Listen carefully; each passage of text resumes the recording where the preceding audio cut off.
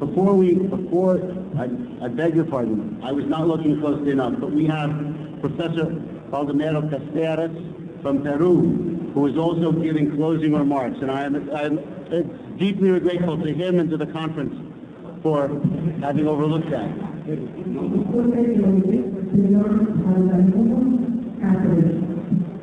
Professor, I'm terribly sorry, but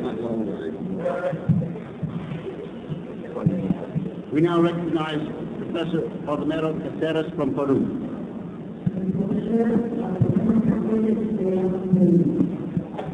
Cuando los españoles llegaron al Perú,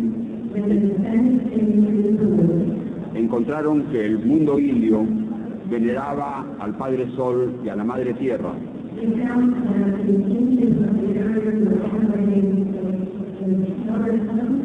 The, the Father Sun and the Mother Earth.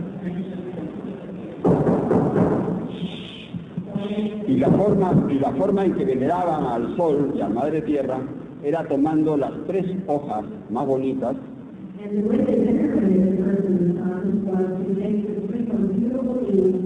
y soplarlas hacia el sol.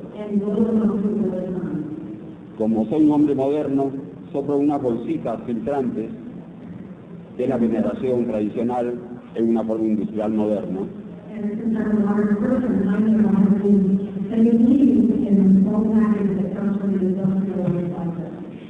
Pero lamentablemente esas bolsitas de un gramo de hoja de coca no la podemos vender a Estados Unidos porque está prohibida, porque se dice que es intoxicante.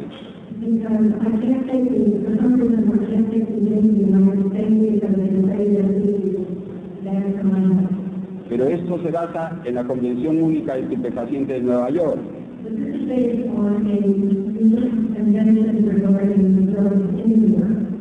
donde declaran, reconociendo que la toxicomanía constituye un grave mal, adicción. Y mucha gente se confunde y dicen que es un diagnóstico médico, pero en realidad no es un diagnóstico médico, sino es exclusivamente psiquiátrico. Y de esto lo pueden ustedes estudiar en sus libros y ven cómo fue considerada la hoja de coca, la marihuana y el opio en el siglo XIX por la medicina naturalista de esa época. En el siglo XIX.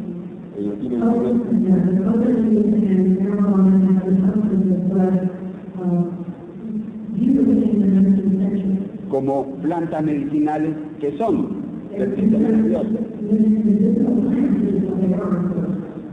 No son drogas, son plantas.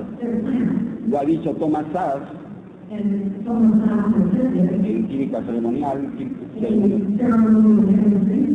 Y eh, en realidad estas plantas han sido estigmatizadas solamente por la psiquiatría. Porque la psiquiatría es el sacerdocio de una cultura que se precia de ser racionalista.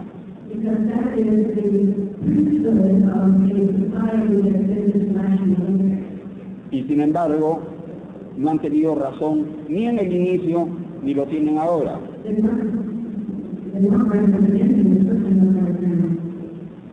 Felizmente en el Perú no está penalizado el consumo de marihuana.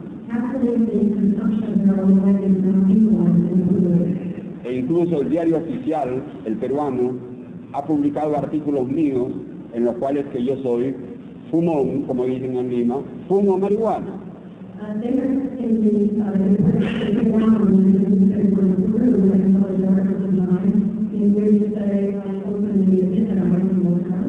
Porque creo como psicólogo que optimiza mi funcionamiento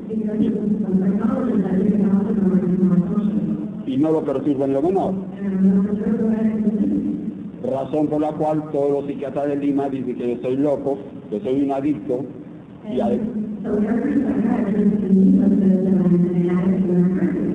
sobre todo porque además soy judaizante. Y entonces ya es la locura total en una Lima católica, pacata, pequeña.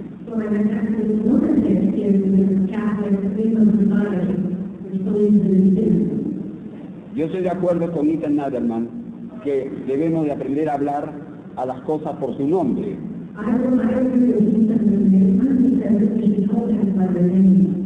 El otro día recomendaba que no hablaran de drogas en general, Pero esta mañana él hablaba de drogas en general.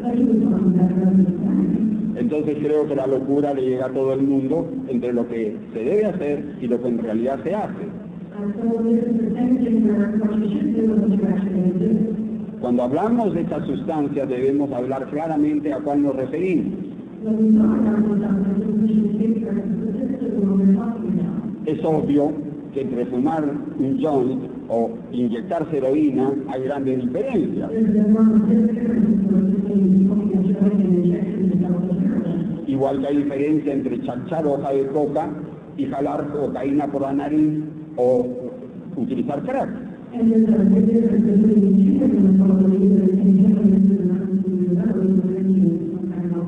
Esto es una invocación para que las gestiones que se hagan respecto a Viena se precise el cuarto punto de la, de la manifiesto radical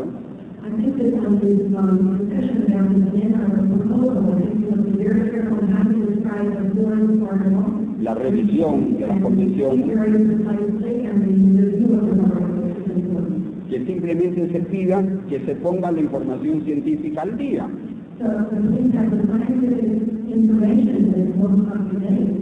Porque en realidad el Comité de Expertos en Farmacodependencia de la Organización Mundial de la Salud.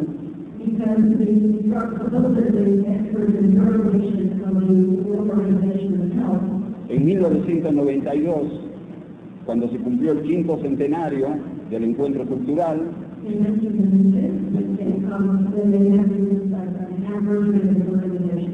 y en vista de que el gobierno de Perú y de Bolivia habían hecho gestiones para revalorizar la coca, um,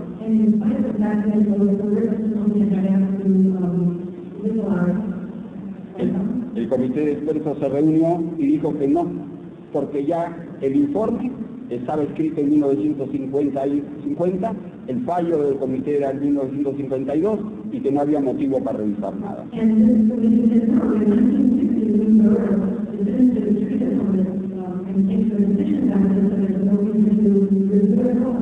Cuando pasó por Lima el secretario de la JIFE, de la Junta Internacional de Fiscalización de Drogas, señor Shaste, él me dijo, no van a poner al día la información a menos que el secretario general le diga que pongan al día la información.